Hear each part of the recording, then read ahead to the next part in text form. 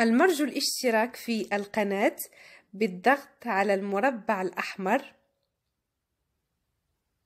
وتفعيل الجرس ليصلك الجديد عند وضعه في القناة وشكرا لكم.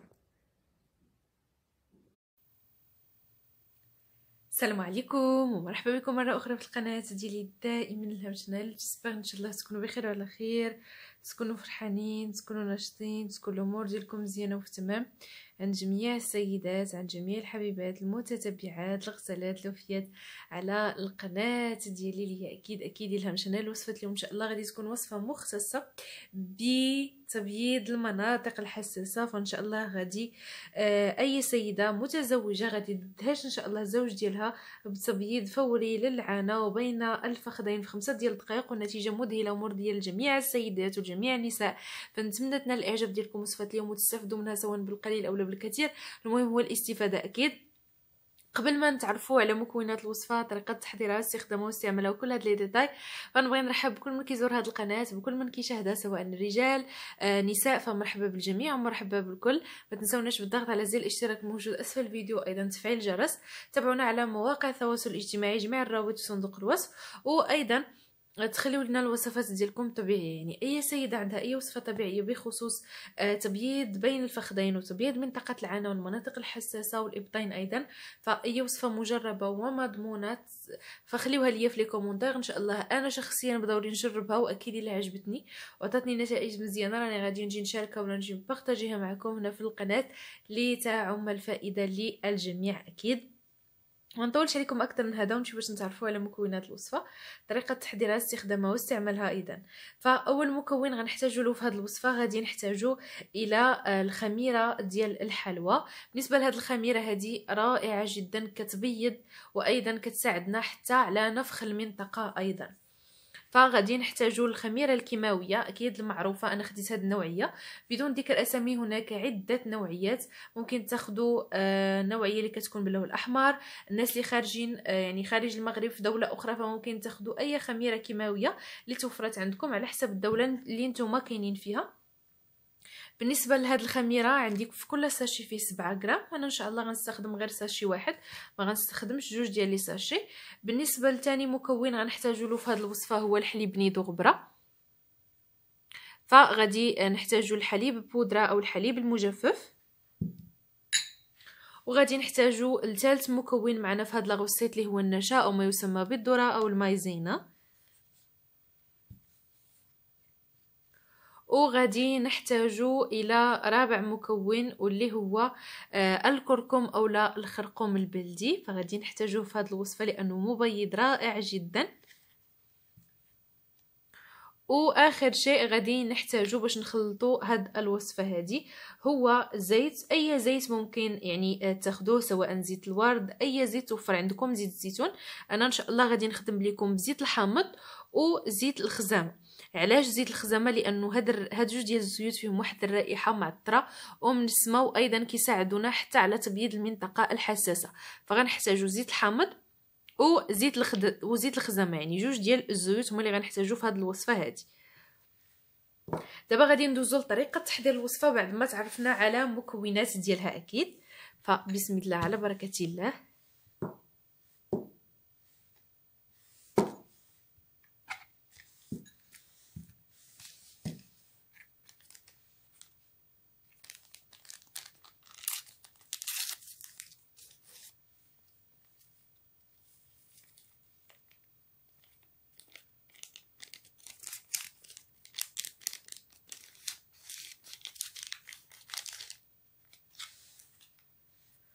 ومن بعد غادي ناخد الحليب بودرة.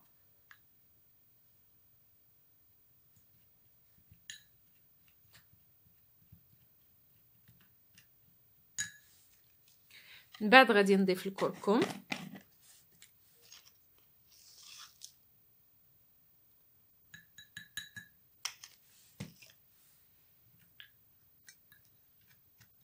ومن بعد غادي نضيفو النشا. أو ما يسمى بالذرة أو المايزينا.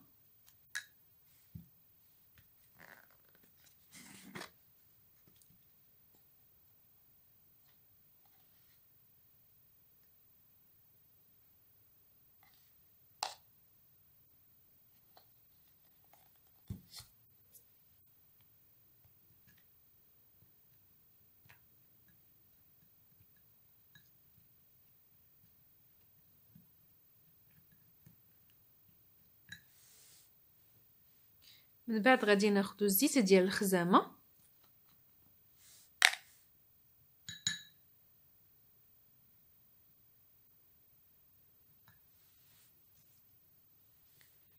والزيت ديال الحامض.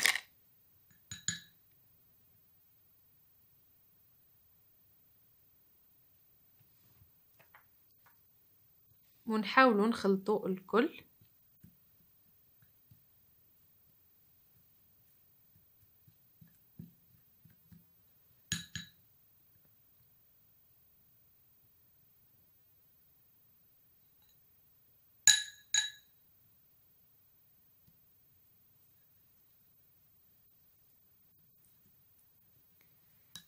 فانا يعني الزيت ديال الخزامة وأيضا الزيت ديال الورد يعني آه انتهت الكمية ديالو فما بقاتش. فانا غادي نضيف زيت آه الورد يعني غادي آه نضيف كما لاحظتوا ضفت زيت الحامض وأيضا الزيت ديال الخزامة. و آه يعني تقاداو ليا فما بقاوش عندي منهم. فضروري ما نضيف زيت آخر لأنه الوصفة بقى كما لاحظتوا يعني آه عقده فضروري ما نخلطوها اولا. فأنا غادي نزيد هنا نضيف زيت الورد. إلا توفر عندكم فأكيد ممكن تضيفوا حتى زيت رابع على حسب المتوفر عندكم في البيت.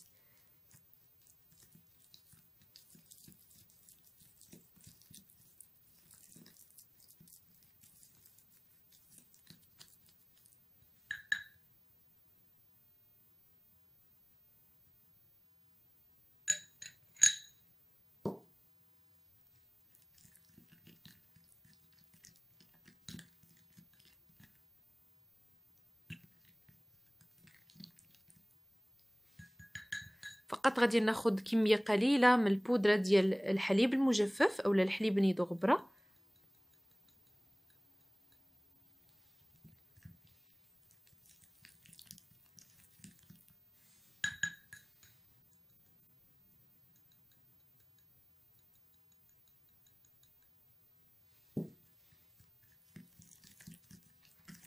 والوصفة الآن صبحت عندي جاهزة للاستخدام اولا للاستعمال.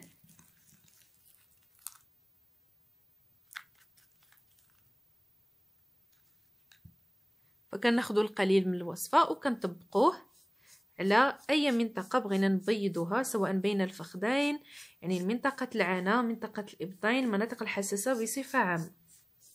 كنطبقوا عليهم الوصفة بهذه الطريقة هذه كما هو موضح مباشرة في الفيديو أمامكم.